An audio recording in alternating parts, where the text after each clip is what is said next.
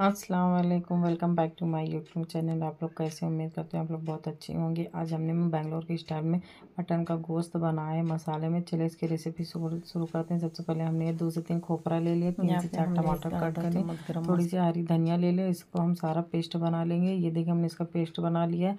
दो से तीन चम्मच हमने यहाँ अदरक लहसुन का पेस्ट लिया है। यहाँ पे एक बड़ी साइज़ की हमने प्याज पीस ली है। और यहाँ पे हमने एक बड़ी प्याज कट कर ली है। तीन से चार हमने हरी मिर्च ले ली है। यहाँ पर धनिया पाउडर दो चम्मच, हल्दी पाउडर एक चम्मच, काली मिर्च का पाउडर एक चम्मच, दो चम्मच जीरा पाउडर, ये गोश्त का मसाला, ये लाल मिर्च पाउडर दो चम्मच, यहाँ नमक स्वाद अनुसार ये हमने गरम मसाला ले, सारा हमने इकट्ठा कर लिया। अब इसमें हमने ये तीन से चार चम्मच तक ऑयल डाल दिया एक बड़े साइज़ कुकर में। अब इसमें हमने अपनी कटी हुई प्याज, हरी मिर्च उसको डाल देंगे। अब इसको हम थोड़ा सा गोल्डन ब्राउन कर लेंगे।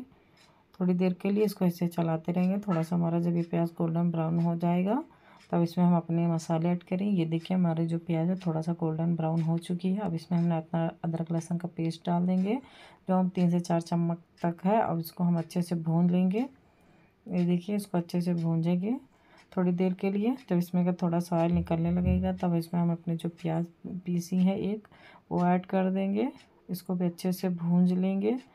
ये देखिए, ये भी थोड़ा हमारा मसाला पक चुका है। अब जो हम सारे मसाले निकाले थे उसको हम इसमें ऐड कर देंगे सारा मसाला। अब इसको हम अच्छे से पकाएँगे सारे मसाले को। ये देखिए, फाइनल लुक हमारा ये जो मसाला पक चुका है, अब इसमें हमने एक केजी तक हमने गोश्त लिया था, उसको हम इसमें ऐड कर देंगे। ये देखिए उसको हम डाल दिए। अभी जो हमारा मसाला था उसको भी हम इसमें ऐड मसाले थे उसको हम इसी में ऐड कर देंगे। ये देखिए इसको भी अच्छे से हम मिक्स कर देंगे। मिक्स करके इसको हम प्रेशर के लिए रख देंगे। इसको तीन से चार सीटी लगाएँगे। देखिए अब हमारा जो प्रेशर वो निकल चुका है। हमारा जो गोश्त बनकर तैयार हो जाए आप लोग को मेरी रेसिपी अच्छी लगी आप लोग भी ट्राई लगी होगी। तो आप लोग भी ट्राई कीजिएगा। मेरे चैनल को लाइक शेयर सब्सक्राइब कीजिएगा।